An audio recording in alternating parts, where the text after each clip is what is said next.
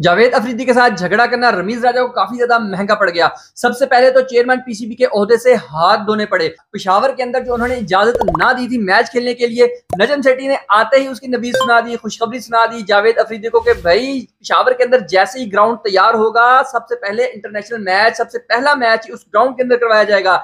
जी हाँ जावेद अफरीदी को नजम सेठी ने यह खुशखबरी ये नवीद सुना दी है, जिसकी बिना पर जावेद अफरीदी के साथ रमीज राजा का झगड़ा हुआ था, उनकी अनबन हुई थी और यही वजह थी कि Javed Afridi P S L eight के ड्राफ्ट में भी नहीं गए। आप लोगों ने भी ये चीज़ नोटिस की होगी कि Javed Afridi P S L eight के ड्राफ्ट में क्यों नहीं गए? उसका रीजन यही था कि रमीज राजा के साथ कुछ तलखियाँ, कुछ खलशियत चल रही थी, उनके साथ कुछ अनबन चल रही थी, वो इनकी बात नहीं मान रहे थे।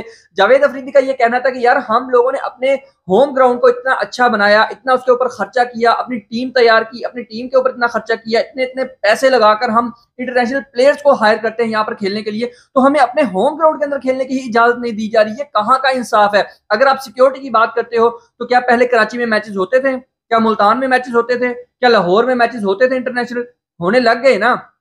अगर आप सिक्योरिटी देते हो, अगर आप इसको मैनेज करते हो पूरे तरीके के साथ तो हर चीज़ पॉसिबल है। अब पाकिस्तान के हालात पहले से काफ़ी ज़्यादा इस लिहाज से बेहतर हो चुके हैं कि पाकिस्तान के अंदर सिक्योरिटी के इश्यूज़ बहुत रिजॉल्व हो चुके हैं और बाहर जो जितने भी इंटरनेशनल प्लेयर्स हैं पाकिस्तान में आने को, अब वो मुतमिन हो गए हैं, अब उनका एतमाद बहाल हो चुका है, अब वो पाकिस्तान आने को तरजीह देते हैं। आप इस दफ़ा का पी एस एल एड ही देख लें 500 प्लस ओवरसीज प्लेयर्स हैं जो पाकिस्तान के अंदर है। और ये रिकॉर्डेड है, अभी तक किसी भी लीग के अंदर ओवरसीज के प्लेयर, इतने प्लेयर नहीं ऐड किए गए, हत्या के इवन के आईपीएल में भी इतने प्लेयर्स नहीं गए। आईपीएल के भी इस तरह, इस दफ़ा के जो प्लेयर्स हैं ना, जो ड्राफ्टिंग में शामिल हैं, वो तकरीबन 385 390 इतने प्लेयर्स हैं, जबकि पाकिस्तान के अंदर 500 प्लस, आप खुद ही अंदाज़ा लगा लें इस बात से कि पाकिस्तान के ऊपर इंटरनेशनल प्लेयर्स का कितना ज़्यादा एतमाद बहाल हो चुका है। तो फिर भी पिशावर के ग्राउंड के अंदर मैचेस ना करवाने का फैसला करना, रमीज राजा की तरफ़ से ज्यादती ही था। तो इस वजह से उनको चेयरमैन पीसीबी के अहदे से हटा दिया गया और नजम सेठी नए चेयरमैन तैनात कर दिए गए हैं, जबकि दूसरी तरफ़ रमीज राजा ने यह फैसला कर लिया है कि मैं भी हार नहीं मानूँगा।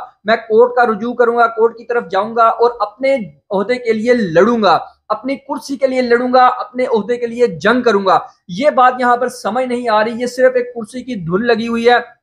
जिस तरह सियासत में सीएम को लेकर, वज़ीर आला को लेकर दारतों को लेकर, एक सियासत के अंदर जिस तरह से जंग लगी हुई है ना, वही सीन यहाँ पे नज़र आ रहा है। कोई भी मुल्क के साथ सिंसियर नहीं है। हर बंदा अपनी ही कुर्सी के लालच में लगा हुआ है। हर बंदा अपने के लिए लगा हुआ है।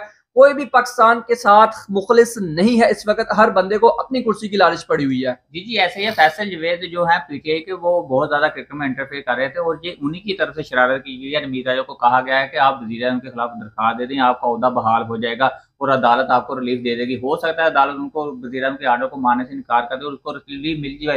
लेकिन इसका फ़ायदा क्या होगा? बताना तो ये चाहिए ना शाकिन करके को, बता किस वजह से आप निकले? आप नाकस अपनी कारकर्दगी की वजह से निकाले गए भाई। आपकी दो साल कारकर्दगी में सिफर, टीम सिफर से सिफर होती गई। परफॉर्मेंस ज़ीरो से ज़ीरो होते गई आप जो कहते कुछ थे होता कुछ था आपके मुँह पे कुछ और था कि पाकिस्तान को ऑस्ट्रेलिया जैसी टीम बनाएँगे, ऑस्ट्रेलिया जैसी पिचेस बनाएगा, आपसे एक पिच तैयार ना हुई, बहानेबाजी आप करते रहे, करोड़ों रुपया आपने जाया कर दिया, कहाँ लगा वो अभी तक ये भी नहीं पता। और दूसरी तरफ़ आप कह रहे हैं कि हम केस कर देंगे।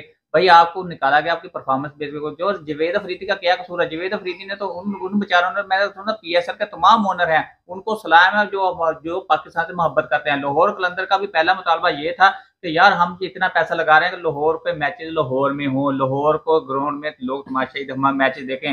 वो लाहौर में मैचेस हुए, वो ट्रॉफी भी लाहौर में जीते, उनकी खुशी देखने के लायक अभी तक हम आपको बताते चलेंगे पी एस एल एड के जितने भी इवेंट हो चुके हैं, अभी तक भी कुछ ही कुछ ही फ्रेंचाइज हैं जिनको अभी मुनाफा मिलना शुरू हुआ है, लेकिन बाकी फ्रेंचाइज अभी लॉस में ही जा रही हैं। आठ साल हो गए कौन इतना लॉस बर्दाश्त करता है? लेकिन वो फिर भी पाकिस्तान मोहब्बत में नुकसान भी बर्दाश्त कर रहे हैं। और जवेद अफरीदी सबसे बड़े बड़े उस, इसमें ओनरशिप है। उन्होंने पहले ऐलान किया था कि हमें नुकसान से कोई गर्द नहीं है। हमें पाकिस्तान में मैचेस पेशावर में मैचेस होते देखने चाहिए। और इस बात की ये यकीन दहानी कराई गई थी। पिछले चेयरमैन नज़र सेठी की जानब से यही, यूँ ही हालात बेहतर होंगे, पेशावर में मैचेस होंगे।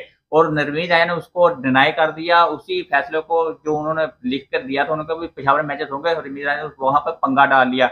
होना तो ऐसे चाहिए था ना उनको कहते कि आपका ग्राउंड तैयार होता है हम खिलाड़ियों से बात करेंगे अगर खिलाड़ी इनकार कर देंगे तो फिर हम आपको कुछ नहीं कह सकते अगर खिलाड़ी आपके राज़ी हो गए तो फिर हम आपको स्कोटी देंगे। ये तो उन्होंने पहले ही जवाब दे दिया ना जो कहते हैं ना कि ना करने का इरादा ना करने का इरादा यही तो बात है इसी वजह से तो वो नाराज़ हुए ना भी खिलाड़ी ना करें इनकार करें तो फिर तो हमारा मसला जब हम खिलाड़ियों को पैसे देंगे जिसको हमने दो करोड़ देना उसको हम तीन करोड़ देंगे भाई आपने पिछावर मैच खेलना वो हमें हो सकता है ना इनकार ना करें।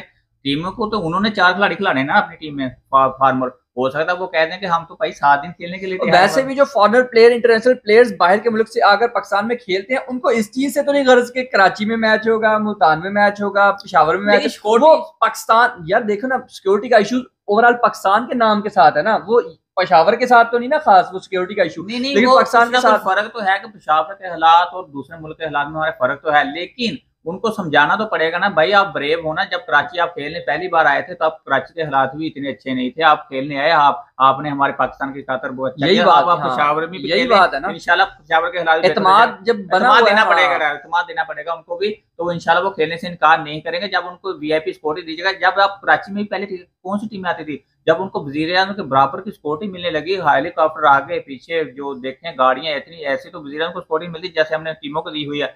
तो अगर पशावर में भी एक दिन के लिए ऐसी सिक्योरिटी दे दी जाएगी एक या दो दिन जब वहाँ पे मैच होना तो कौन सी क्या मत आ जाएगी? आप जी बिल्कुल कराची में जिस तरह पहले उन्होंने पूरा एक नए सिरे से उनका जहनी तौर पर उनको तैयार किया, किया इतनी मिन्नत समाजत की कि यार आप हमारे मुल्क में आओ हमारे सिक्योरिटी के हालात बहुत सेट हैं उसकी बजाय जो अब सिर्फ़ पिशावर के लिए मनाना को मुश्किल नहीं था ना क्योंकि हमारे पाकिस्तान में आना आने के लिए मनाना सबसे मुश्किल काम था वो तो कर चुके हैं। आए हुए हैं आप ये कह सकते हैं। मनाना है कि यार ये हाँ। कराची है ये पिशावर आपने यहाँ तो खेले आप यहाँ भी खेले ये कह सकते हैं कि हाथी पूरा गुजर चुका है सिर्फ़ उसकी दुम बाकी है। वो गुजारने में कौन सा मुश्किल काम एक बार मैच हो गया तो इंशाल्लाह पिशावर में भी रेगुलर मैचेस होना शुरू हो जाएँगे। और पिशावर का ग्राउंड इंतहाई खूबसूरत मैं समझता हूँ कि जितने भी पाकिस्तान के जितने भी स्टेडियम है कराची हो गया मुल्तान हो गया लाहौर हो गया शेखपुर उन तमाम से खूबसूरत ग्राउंड है वो। और इंशाल्लाह वहाँ पर मैच खेलने का और देखने का मज़ा ही दबाला होगा, मज़ा ही एक अलग होगा। तो आप लोगों ने हमें ये ज़रूर बताना है कि आप लोग इस बारे में क्या सोच रखते हैं, क्या रमीज राजा अदालत के साथ रुजू करके अपना अहदा वापस हासिल करने में कामयाब होंगे या नहीं, अपनी राय आप लोगों ने कमेंट सेक्शन में ज़रूर बतानी है। वीडियो को लाइक कर देना है चैनल को सब्सक्राइब करना मत भूलिएगा। मिलते हैं नेक्स्ट वीडियो में, तब तक के लिए अपना बहुत सारा ख्याल रखिएगा। अल्लाह हाफिज।